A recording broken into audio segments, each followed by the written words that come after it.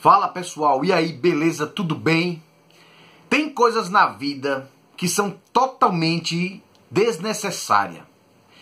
E ontem, durante o jogo entre Santos e Vasco, aconteceu algo totalmente desnecessário.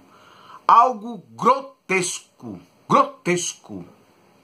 A Globo simplesmente humilhou, arrebentou usou de forma é, como se fosse um bullying contra o jogador, o goleiro do Vasco, o Sidão.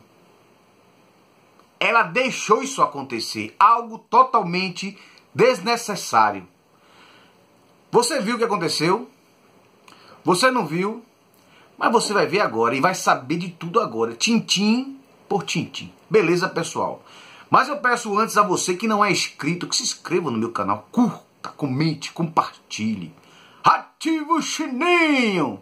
Ative o sininho para toda vez que a Globo pisar na bola, você ser notificado. Beleza, pessoal, mas vamos lá. Vamos lá, vamos explicar. A Globo, nas suas transmissões, ela faz uma enquete com o seu público através da internet escolhe o craque do jogo. Sidão, goleiro do Vasco, ele não vem vindo num, numa fase boa. Ele vem pisando na bola, né? Ele vem errando bastante tal. Mas quem não acontece? Quem não, nunca errou, né? Quem não falha? Quem às vezes na vida não está no momento bom, né? Não está no momento legal. E, e acontece falha, você nem sempre está com a cabeça boa para tudo na sua vida. E ele está passando por uma fase não muito boa. E a galera que fez, que faz a escolha, que escolhe o craque do jogo, eu acho que por gozação, para tirar onda, para trollar, escolheu o Sidão como craque do jogo. Um cara que errou no primeiro gol, né? Falhou em, outros, em outras jogadas, ficou nervoso. Claro, pelo jogo o Vasco já ia perder mesmo. Levou de 3 a 0. Podia ter, ter levado demais. Mas já ia perder, né? Mas enfim, mas ele, ele colaborou também e tal.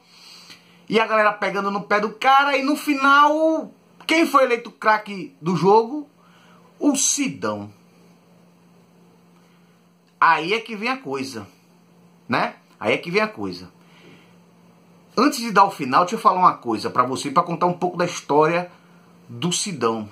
Ontem, que foi o Dia das Mães, ele entrou com o nome da mãe dele nas costas, como todos os jogadores do Vasco. E para ele é uma ocasião especial, porque Sidão, goleiro do Vasco, ele se culpa pela morte da mãe.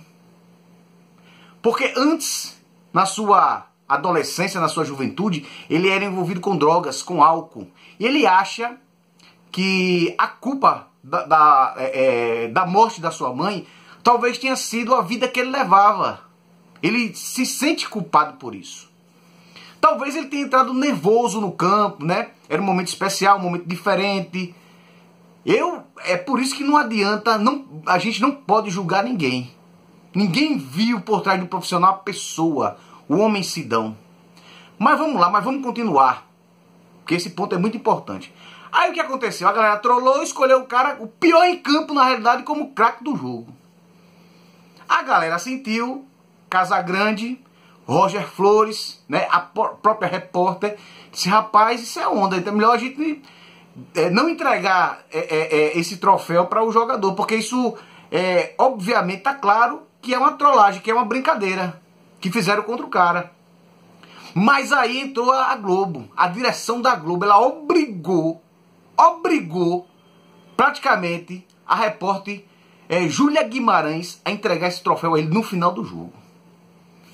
E aí aconteceu. Ela, totalmente constrangida, dava para ver pelas palavras dela. Ela informou, inclusive, ao Sidão, que era uma votação feita pela internet, né? Que ia entregar o troféu a ele. O cara, meu irmão, a cara do. dava, dava dó. Dava dó de ver a cara de Sidão após o jogo. Ele calado, um cara muito centrado, muito educado, aceitou o troféu, não falou nada e saiu. E ela totalmente constrangida. No final do jogo, ela tweetou, praticamente pediu, pedindo desculpa a eles, colocou no Twitter dela, né, que respeitava Casa Grande, também colocou no seu, no seu Twitter, né, informando a situação do jogador que tinha passado por, por, pelos mesmos problemas com droga, que não era para ter feito aquilo ali, que era uma coisa totalmente desnecessária.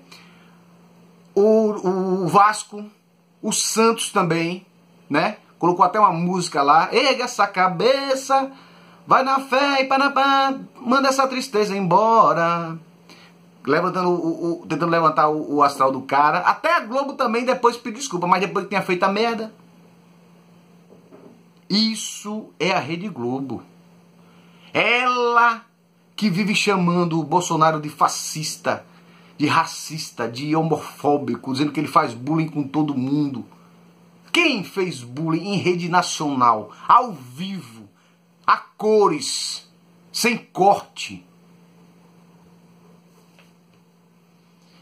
O grande corte que houve, infelizmente, foi no coração do ser humano, do cidadão, do homem, do profissional que tá, passou por uma situação difícil antes, está passando hoje, mas não merecia ser escrachado e ser humilhado em rede nacional. Espero que sirva de lição para a Rede Globo, né? Ela falou que, que vai acabar com isso. Não que vai acabar, mas que vai deixar os comentaristas também opinarem e votarem para que esse tipo de situação não aconteça mais. Mas a grande merda já foi feita, infelizmente. Infelizmente. Uma coisa muito triste que aconteceu. Muito triste mesmo, que sirva de lição para muita gente. Ninguém, não julgue ninguém. Ninguém pode ser julgado. Beleza, pessoal? Não mais é só isso. Beijo grande para você. Fica com Deus, porque eu eu fui.